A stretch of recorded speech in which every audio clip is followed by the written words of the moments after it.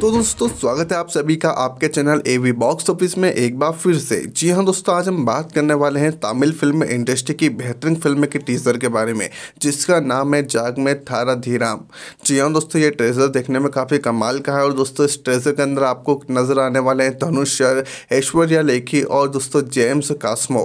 दोस्तों, मैं आपको बता दूँ कि यह फ़िल्मों को मिक्स करके बनाया गया है, जिसके अंदर धनुष और साथ ही साथ में दोस्तों, हॉलीवुड के कुछ सीन्स भी बताए जाएँगे। साथ ही साथ अगर हम बात करें ट्रेजर की खास बात की तो दोस्तों इस ट्रेजर के अंदर आपको कॉमेडी, एक्शंस और दोस्तों कॉमेडी से भरे हुए सीन्स ज़्यादा देखने के लिए मिलेंगे। साथ ही साथ में दोस्तों इस फ़िल्म के अंदर आपका धनुष का फ्री स्टाइल और दोस्तों बेहतरीन डांस भी देखने के लिए मिलता है। अगर दोस्तों बात करें ट्रेजर की बैकग्राउंड सॉन्ग की तो दोस्तों वो इतना खास नहीं है। फिर भी दोस्तों जहाँ पर धनुष की एंट्री होती है, वहाँ पर दोस्तों सब कुछ फाड़ डालते हैं। वहीं पर दोस्तों अगर हम बात करें कि फ़िल्म को डायरेक्ट किसने करा है तो दोस्तों इस फ़िल्म को डायरेक्ट कर रहे हैं कार्तिकी सुबराज ने और इस फ़िल्म को प्रोड्यूस कर रहे हैं चक्रवर्ती रामचंद्र जी। वहीं पर दोस्तों मैं आपको बता दूँ कि इस फ़िल्म की काफ़ी ज़्यादा तारीफ़ करी जा रही थी, क्योंकि दोस्तों जब से ये इस फ़िल्म के पोस्टर हम सबके बीच में रिलीज़ करे गए थे, तब से इस फ़िल्म का इंतज़ार सब कर रहे थे।